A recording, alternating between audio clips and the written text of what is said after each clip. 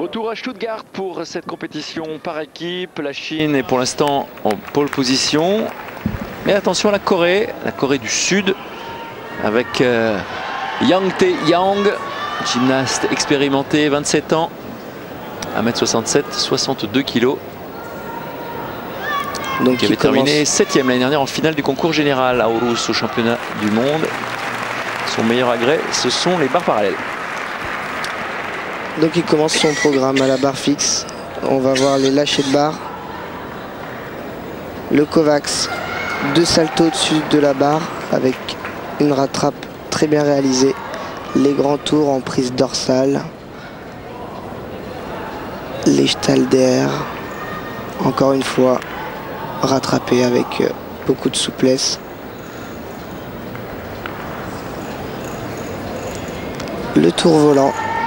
C'est un tour autour de la barre fixe. C'est la sortie. Double tendu avec De un petit sursaut, mais très, très bel exercice. Donc euh, je pense que la note sera pas mauvaise pour le coréen.